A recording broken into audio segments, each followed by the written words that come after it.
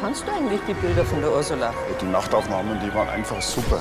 Und die Sonnenuntergänge, das war doch Ja, super. schon, aber immer diese langweiligen Dia-Shows. Hey, hast du das gehört? Da schreit doch jemand um Hilfe. Komm, komm, wir sollten uns da lieber nicht einmischen. Ja, aber wir, wir, Na, das gibt nur Ärger. Nichts aber. Komm jetzt.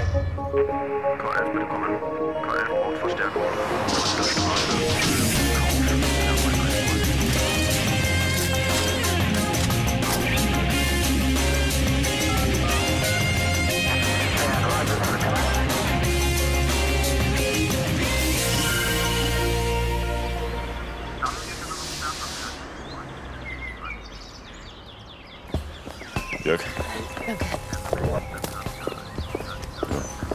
Was ist denn passiert, Doc?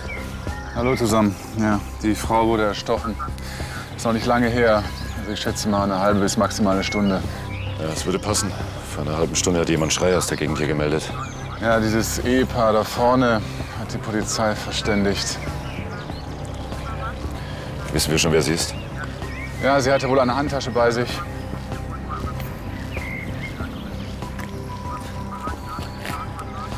Ja, sie war noch ziemlich jung.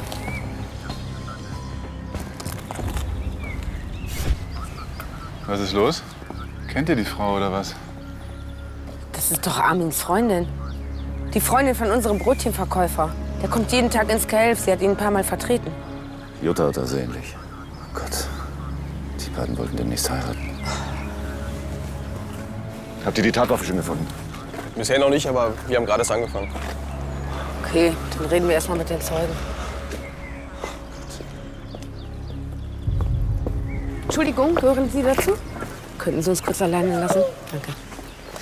Wir sind von der Kripo Rietz, mein Kollege Herr Grass. Tag. Sie sind das Ehepaar, das die Schreie gehört hat und die Polizei informiert hat, ja?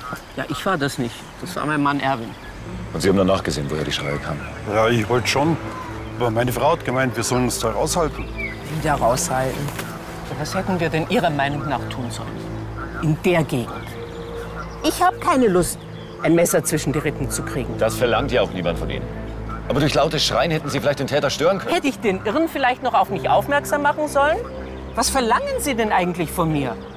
Aber dann würde sie vielleicht heute noch leben. Vielleicht hätten Sie den Täter auch gesehen und dann später wiedererkennen können. Jetzt wollen Sie mir vielleicht auch noch eine Schuld einreden, ne? Also was soll denn das Jetzt eigentlich? beruhigen Sie sich mal. Meine Kollegin will Ihnen lediglich sagen, dass Sie uns bei der Tätersuche hilfreich gewesen wären. Da bin ich ja schließlich nicht die Einzige, ja? Was meinen Sie damit? Da waren überall Leute hinter den Fenstern. Wo denn genau? Hinter welchen Fenstern? Ja gut, wo genau, das kann ich Ihnen auch nicht sagen. Aber hinter den Gardinen, da waren einige Köpfe. So, und jetzt reicht's auch. Ich habe Ihnen alles gesagt und wir haben unsere Pflicht getan. Kleinen Moment bitte noch. Jörg, habt ihr die Personalien? Okay. Gut, dann können Sie gehen. Aber wenn Ihnen noch was einfällt, dann melden Sie sich bitte. Wieder schon. Ja, Wiedersehen. Wieder ein Grund, wieso ich nicht heiraten werde. Uiuiui. Naja, komm, dann reden wir erst mal mit den Anwohnern. Irgendeiner muss da was mitgekriegt haben.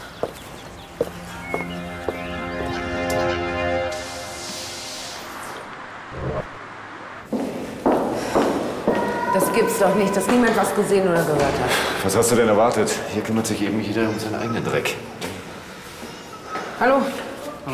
Guten Tag, wohnen Sie hier? Ja, wieso? Grass ist mein Name, Kriminalpolizei. Meine Kollegin Frau Rietz. Vor etwa einer Stunde wurde eine junge Frau vor dem Haus erstochen. Also deswegen so draußen so ein Aufstand. Ja. Äh, eine junge Frau, haben Sie gesagt? Oh Gott, meine Tochter. Die Gül. Nein, nein, wir haben die Tote bereits identifiziert. Das ist nicht Ihre Tochter. Haben Sie nichts mitbekommen? Nein, ich komme direkt von der Arbeit. Haben Sie schon mit meiner Tochter geredet? Nein, da hat niemand geöffnet. Aber wahrscheinlich, weil ich ihr gesagt habe, sie darf keine Fremde reinlassen.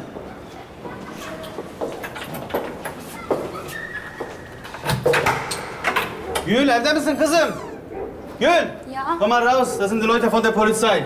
Ja. Eine junge Frau wurde hier ermordet vor dem Haus. Was? Ja. Haben Sie nichts mitbekommen? Nein. Aber die Frau hat laut geschrien. Nein, tut mir leid, ich habe gerade Musik gehört. Ich kann Ihnen jetzt echt nicht weiterhelfen. Naja, gut, trotzdem danke. Vielen Dank. Wiedersehen. Wir schauen. Okay, und weiter geht's. Irgendjemand muss da was bemerkt haben.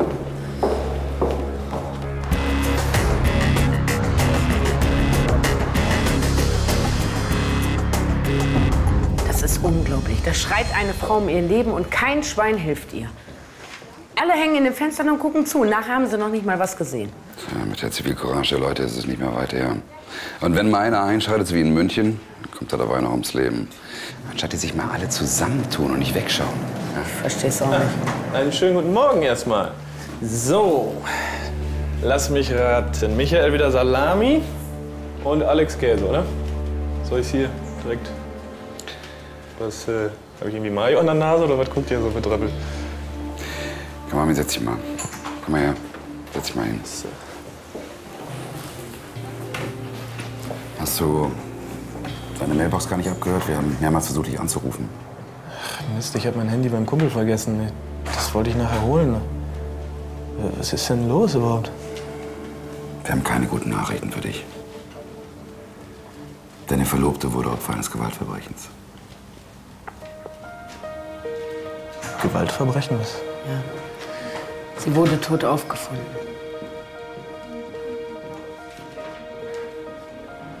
Nee, das kann nicht stimmen, oder? Leider doch. Es tut uns leid. Wo ist sie denn jetzt? Hey Doc, Hallo Gerrit. bist du schon fertig mit dir? Ja. Also vieles war ja schon am Tatort klar. Todesursächlich sind also die zahlreichen Messerstiche, wie schon vermutet. Ja, sieben an der Zahl, alle von hinten ausgeführt. Tatwaffe?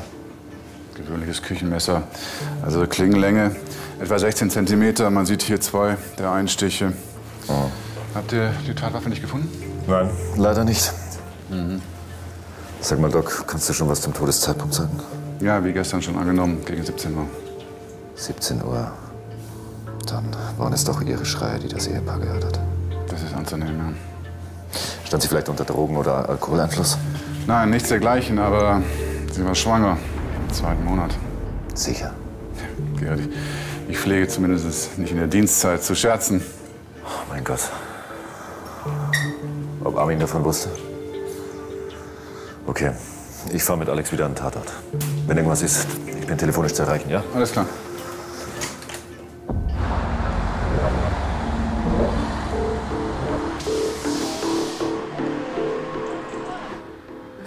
Nein, die habe ich hier im Haus noch nie gesehen. Da sie nicht hier im Haus wohnt, gehen wir davon aus, dass sie jemanden besuchen wollte. Überlegen Sie doch nochmal. Ich kann Ihnen da wirklich nicht weiterhelfen. Ich habe nichts mitbekommen.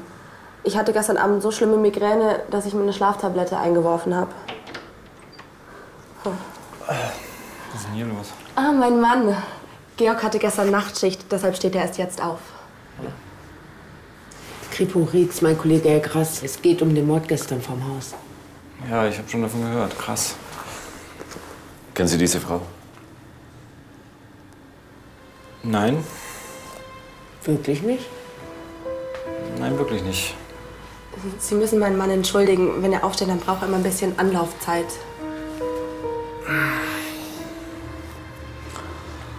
Irgendwie war der gerade komisch, oder? Naja, wenn er wirklich gerade erst aufgestanden ist, schon mal komisch sein. Ach, sind Sie nicht die Herrschaften von der Polizei, die gestern schon hier waren? Ja, genau. Haben Sie schon was rausgefunden? Ja, wir haben jetzt ein Foto des Opfers. Gucken Sie mal. Kennen Sie die Frau? Kenn nicht, aber die habe ich schon mal gesehen. Gestern mit dem Ruf. Georg Ruf, der hier oben wohnt. Ja, ich bin mir ziemlich sicher. Der stand mit dieser Frau vorm Haus und die haben irgendwas getuschelt. Wann denn? Es muss so kurz vor fünf gewesen sein, weil da gehe ich immer mit meinem Hund raus. Und da habe ich die gesehen. Kurz vor der Tat.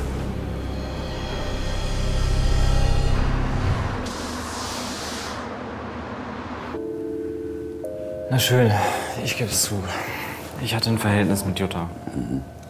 Und wie lange ging das schon? Etwa drei Monate. Und gestern waren Sie mit ihr verabredet. Nein. Ja, man hat sie aber gestern zusammen gesehen. Jutta hat mich auf dem Weg äh, zur Arbeit abgefangen vom Haus. Warum?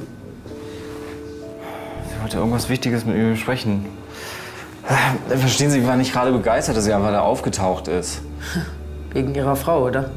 Ja, sicher. Deswegen war ich so angepisst. Wir hatten eine klare Vereinbarung. Weder ihr Verlobter noch meine Frau sollte irgendwas davon mitkriegen. Und das hat sie mächtig wütend gemacht, oder? Ja, ich war sauer, ich war wütend. Äh, hab das Gespräch abgeblockt. Wir wollten am nächsten Tag reden. Ach, dann hat sie Ihnen gar nicht erzählt, dass sie schwanger ist. Sie war schwanger? Ja, genau. Wissen Sie was, ich glaube, sie hat Ihnen davon erzählt. Und genau deswegen sind Sie ausgerastet und haben sie getötet. Herrgott, nein, ich wusste nichts von dem Kind. Das ist etwa von mir. Wir haben gehofft, dass Sie uns die Frage beantworten können. Dann war es das, was sie mit mir besprechen wollte. Hätte ich doch mit ihr geredet und sie nicht einfach da stehen gelassen. Vielleicht wäre sie dann jetzt noch am Leben. Sorry, Leute. Eine Zeugin hat sich bei Gerrit gemeldet.